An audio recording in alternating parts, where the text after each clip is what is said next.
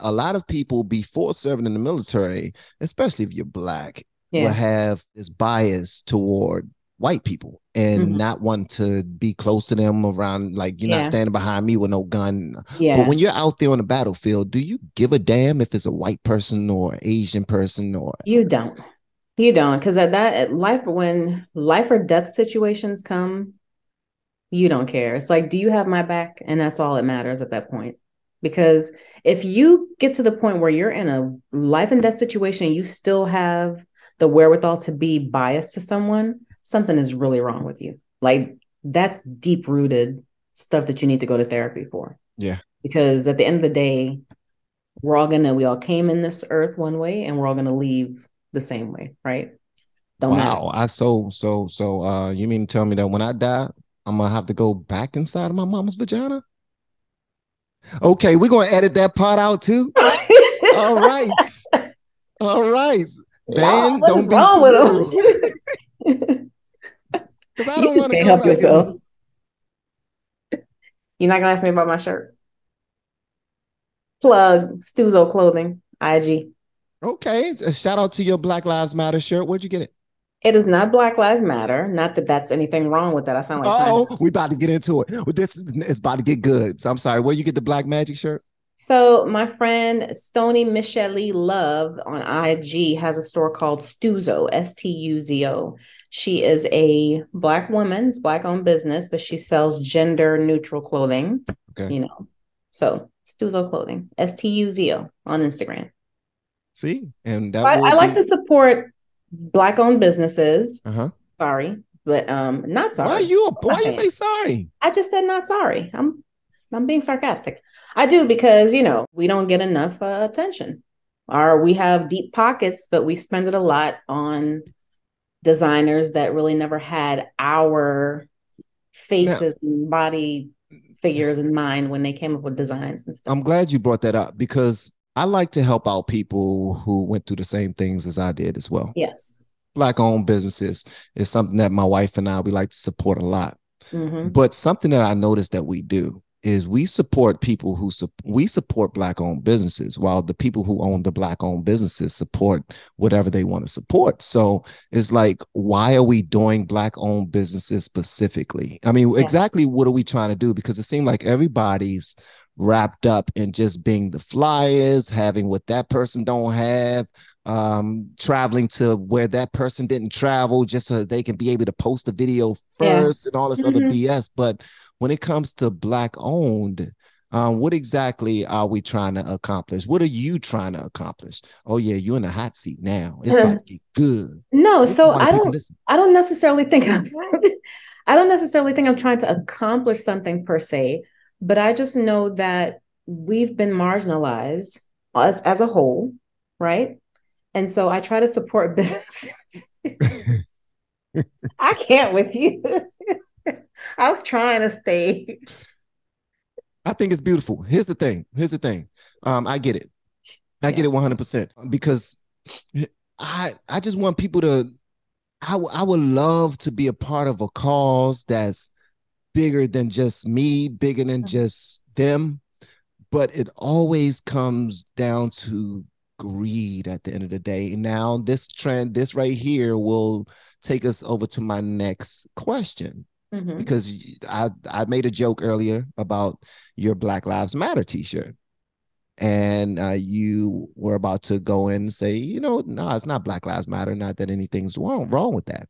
I'm with you 100 percent on that. I actually think that when when Black Lives Matter first started, my me and my daughters, we were downtown Washington D.C. We were in the I did the parade. same.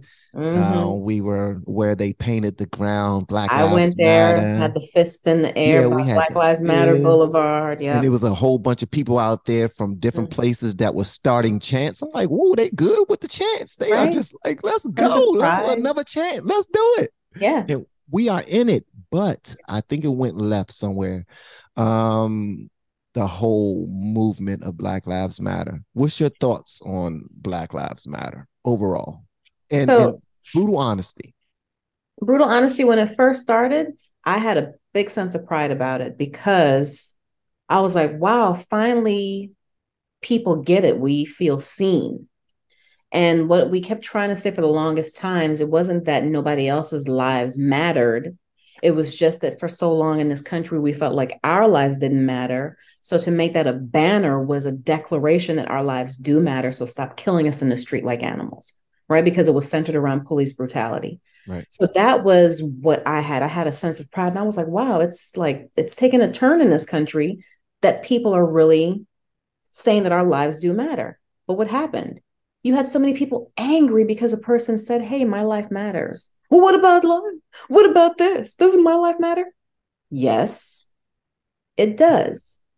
But you're not the one who's being killed in record numbers by the people who are supposed to serve and protect.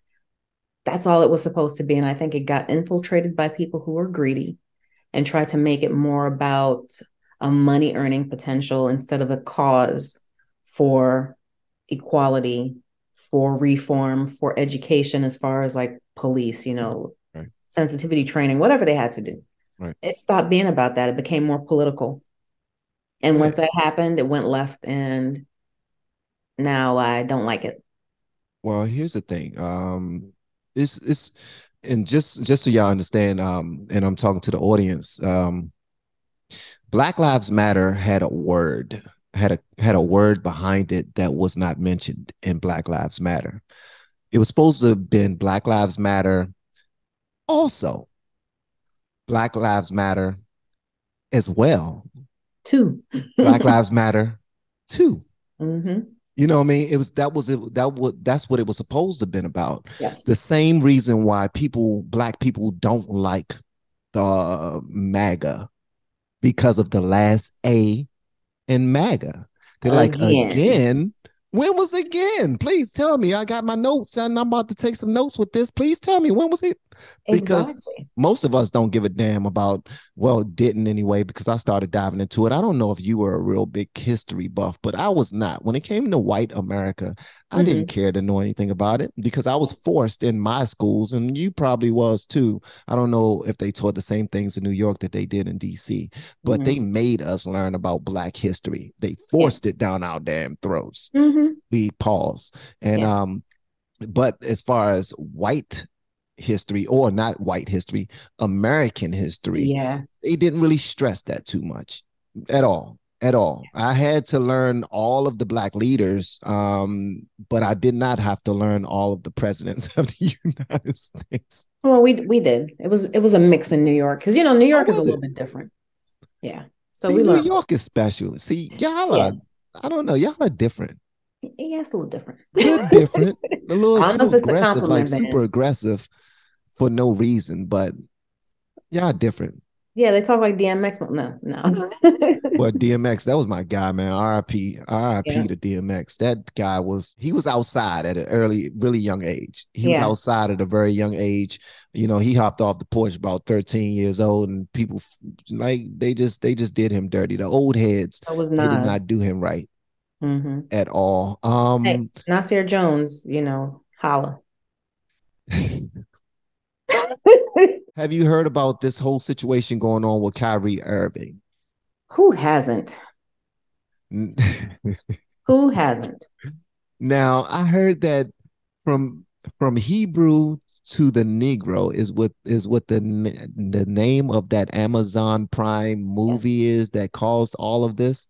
Yeah. And all, he asked people, well, he didn't ask people to go check it out. He just mentioned that he, he found it. A documentary yeah. that he thought mm-hmm. was interesting, right? Yeah, that's all. And that's all. Say, oh, it's true. He he never commented that this is a factual document. He basically told people to go check it out. You can form your own opinion. Now, I watched a preview and I do have it in my cart. I will be watching it because I want to. You want to see what it's all about? To, yeah, but prior to that, I've heard some things like that before because, again, growing up in New York, there were street corners that had the black hebrew israelites and you know they shared pamphlets and taught you certain right. things. Right. And it's a historical documentary about the origins of black israelites and jews as well.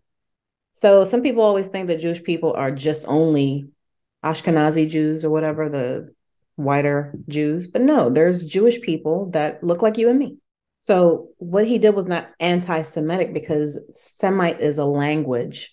So if we are origins of Semitic people, how are we anti-Semitic because we're posting something about our beginnings? Look at you getting all smarty art. I'm just saying people jump on bandwagons without doing the research. And where's the outrage at Jeff Bezos and Amazon for actually having the document, the documentary that Kyrie Irving could find to post? It's still on, there on his platform. It's still there. It's, It's still, on the still there for purchase. It's not even there for free. It's there for purchase. You It's there for purchase or or rent. Exactly. So where's the big outrage about Amazon airing it and Amazon having it there and other people?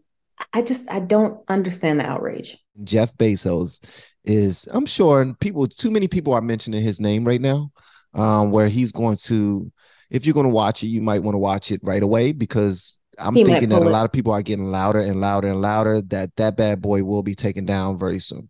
Yeah. In my opinion, but Jeff Bezos might be like, man, kick rocks. I'm super rich. I don't need y'all. But He'll I be a doubt he'll thug like. Elon. Would you say? He'll be a thug like Elon. Yo, Elon is petty. Elon is he's he's he's my kind of petty though.